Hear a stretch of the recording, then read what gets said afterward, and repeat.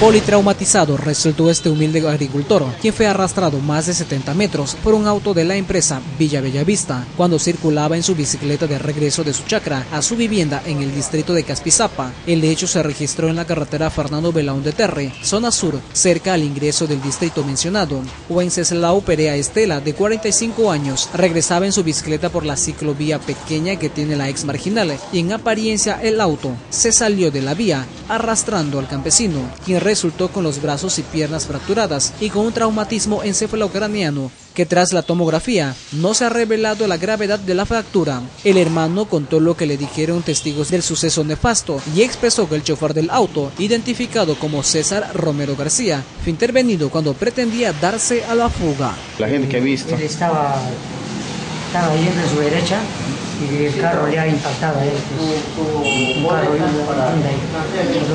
Rupero. ¿Y a dónde se dirigía? Eh, Capizapa. ¿Venía desde dónde? El carro.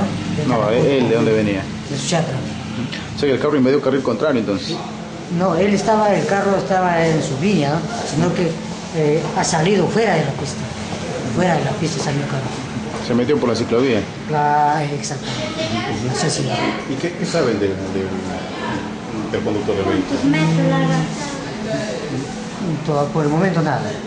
Nada, no, no No, no- no le han intervenido el conductor No, entonces. el conductor está intervenido, está en la policía en San. Ajá. Eh, Le ha arrastrado el carro. El carro le ha arrastrado más o menos eh, 73 metros lo que hemos medido.